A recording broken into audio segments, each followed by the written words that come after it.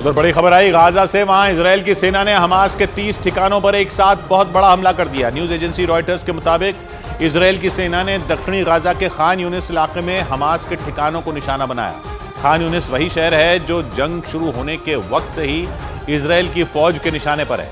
Israel की सेना ने दावा किया कि जिन ठिकानों पर उसके सैनिकों ने धावा बोला, वहाँ हमास के लड़ाकों के छिपे होने के सुराग मिले थे और उसी सूचना के बाद इसराइल की सेना ने पूरी प्लानिंग के साथ हमास के उन 30 ठिकानों पर हमला बोल दिया। कई घंटों तक इसराइल के सैनिक वहाँ गोलियाँ बरसाते रहे, जबकि आसमान से उसके लड़ाकू हेलीकॉप्टर बम गिराते दिखाई दिए। इसराइल की सेना ने इस हमले का एक वीडियो भी जारी किया।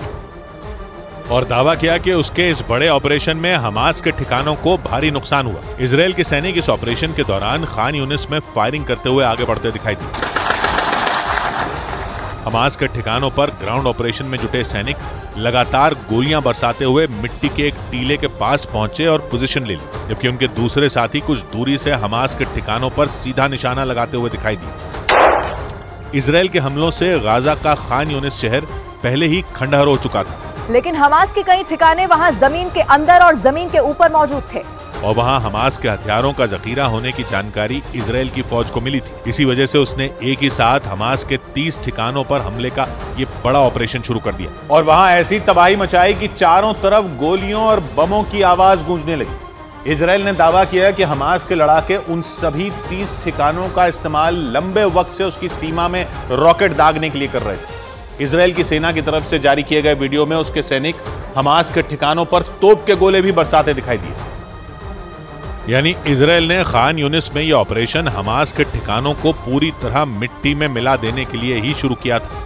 इसराइल के कुछ सैनिक बिना रुके गोलियाँ बरसा रहे थे तो तोप के साथ घुसे फौजियों ने हमास के ठिकाने को निशाना बनाकर तोप चला दी और इससे वहाँ कान के पर्दे फाड़ देने वाली आवाज़ के साथ तेज धमाका हो गया।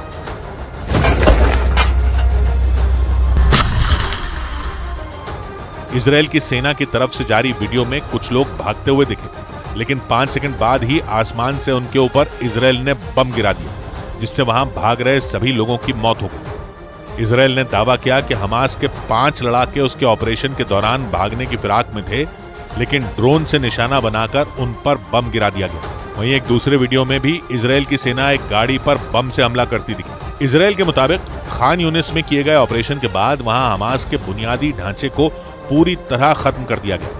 लेकिन इस बीच गाजा में इसराइल के हवाई हमले में पत्रकार वायल अल दहदू के बड़े बेटे की मौत हो गई। इससे पहले अक्टूबर महीने में एक साथ उनके परिवार के 12 सदस्यों की हुई मौत पर काफ़ी हंगामा हुआ। आरोप लगा था कि इसराइल की सेना ने उनके परिवार को जानबूझकर निशाना बनाया था। लेकिन करीब दो महीने बाद वायल अल दहदू के बड़े बेटे की मौत की खबर से हड़कंप मच गया। वायल अल दहदू पश्चिम एशिया के देश कतर के टीवी चैनल अल जजीरा के गाजा में ब्यूरो चीफ शुरुआत से ही वो जंग कवर कर रहे हैं। लेकिन गाजा में बर्बादी को कवर करने में जुटे वायल अल दहदू को अंदाज़ा भी नहीं था कि ये जंग उनके पूरे परिवार को तबाह कर देगी। बेटे की मौत के बाद वो उसके शव के पास खड़े होकर रोते दिखाई दिए। बेटे की हथेली को अपने हाथों में लेकर वो काफ़ी देर तक सुबकते रहे।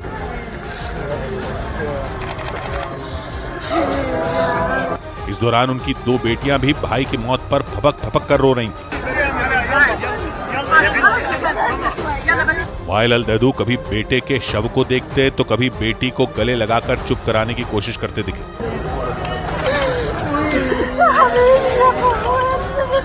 वायल अल ददू के बेटे हमजा की मौत पर वहाँ मौजूद हर किसी की आँखों में आँसू थे। क्योंकि हमास और इसराइल की जंग कवर कर रहे वायल अल ददू के लिए ये जंग त्रासदी साबित हुई। उन्होंने पहले हुए हमले में अपने पिता, एक भाई, दो बहनों और परिवार के आठ बच्चों को खो दिया अब बेटे की मौत ने उन्हें पूरी तरह तोड़ दिया। क्योंकि उनकी आँखों के सामने उनके परिवार के एक एक सदस्य की मौत हो गई। अक्टूबर में जबालिया के शरणार्थी कैंप में हमले के बाद वो अपनी दो बेटियों और दो बेटों के साथ रफा में रह रहे थे। लेकिन एक रोज पहले इसराइल की सेना के हवाई हमले में उनके बेटे हमजा अल दहदू की मौत हो गई। फिलिस्तीन ने दावा किया कि ताज़ा हमले में हमजा के साथ एक और पत्रकार की मौत हुई। हमजा अल दहदू का शव पहुँचते ही उनकी बहनें और पिता वायल अल दहदू फूट फूट कर रो पड़े। एक बहन तो उनके शव से लिपट कर काफ़ी देर तक रोती रही। वायल अल ददू ने अपने बड़े बेटे को बहादुर बताया। इस दौरान वहाँ मौजूद लोग बुरी तरह रोते बिलखते दिखे। भाई की मौत से सदमे में आई वायल अल देदू की बेटी लगातार हमजा के हथेलियों को चुमती रही। इसके बाद वायल अल देदू ने अपने बेटे को कंधा दिया। कतर के टीवी चैनल अल जजीरा ने इस हमले को टारगेट किलिंग बताया।